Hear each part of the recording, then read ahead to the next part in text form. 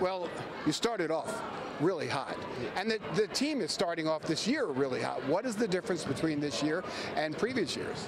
Um, as a team, and Coach Mike has been starting off the whole season with defense, defense, defense. That's all we're about, and uh, it showed tonight. I mean, holding a team to 22 points is uh, that's doesn't happen a lot in high school basketball, and that's what we're trying to do the rest of the season too. You really controlled the defensive boards tonight.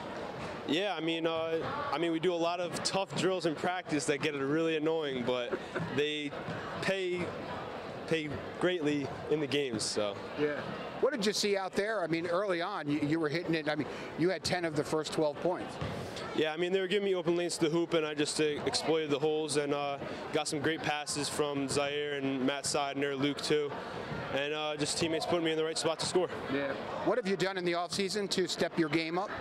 Um, I played AAU, uh, going to a lot of showcases I got invited to. I was lucky to do that, and just Coach Mike has gotten everyone into the into the gym, shooting on the gun in the weight room, just getting better. Yeah, good, good job. Thank you. All right, good win tonight. Thank you. Uh, we're 4-0 right now. That's pretty good. We're off to a very good start. We're off to a very good start. The kids are working extremely hard, and um, it's starting to pay off uh, on the court. So, what do you think some of the differences are between uh, this year and last year or, or previous years?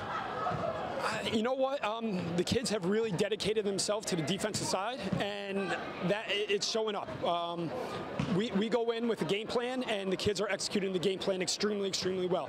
I don't know, I can't say for sure what the difference is, but these kids are hungry and they're they're doing an excellent job on the defense end, and that is putting us in a lot of games and letting us be at the end in a lot of games. So you really controlled the, the defensive boards in this one.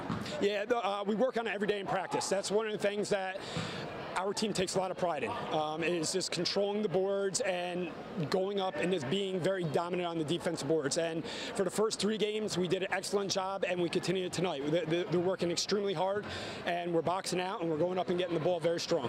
How long have you been the assistant coach here? I was uh, assistant under my brother for about 13 years. Right. Well, I was the JV coach, and this is my first year as the varsity coach. Right. So, I mean, I think what what it attributes a lot of the success is that you know the kids, they know you. Yeah. Uh, it, it was a very easy transition. My brother um, did a phenomenal job up at the varsity level, and he taught me a lot. And when I go into a drill, I could call out a drill, and the players know what I'm talking about, and they know what they know what to expect in my practice. It's a little different. Um, I do a couple different things, but um, they know exactly what to expect in my practice, and they they're ready for it. So. It's it's early in the season. Well, we know your team's looking good right now. It's probably going to look a lot better as the season goes on because you know you get yep. you get more uh, skills and all that stuff happens in connectivity.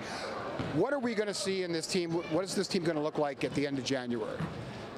You know what? I, I, what I envision this team to be is just be a hard-nosed defensive team and just be extremely, extremely dominant. I shouldn't say dominant. Extremely good on the on the defensive boards. Oh, this on on the rebounding side the whole time.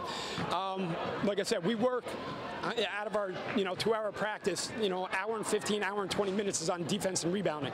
So we spend a lot, a lot of time. So hopefully now that we're starting to pick up some of the defensive stuff that we're doing, our offense will start to click a little better. Now that we can kind of hone back on the defense and start to work a little more on the offense. And we did not have a great offensive game today. They did a very good job taking us out of some of our offensive sets, and we did not execute very well.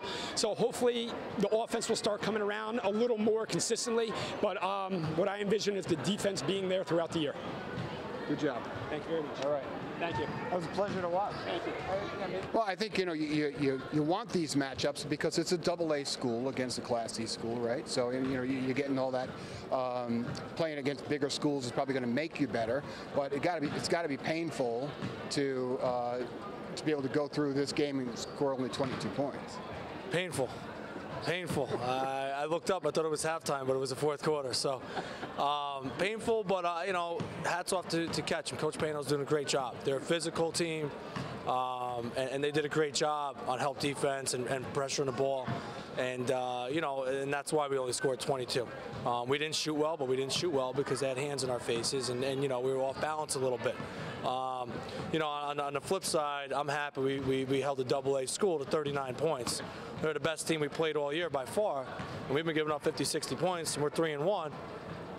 We hold them to 39. I'm thinking maybe we, you know we told me we hold them to 39. Maybe we're winning 40 to 39. Um, you know we lose lose by 17, but some good things happen tonight. You know we're, we're trying to um, you know we, obviously we got to improve the offense, but you got to give credit to, to Ketcham. It's early in the season, you know, so everybody's kind of feeling their way, and this team will, will get some connectivity and some cohesiveness as the season goes on. What will we see Haldane looking like at the end of January?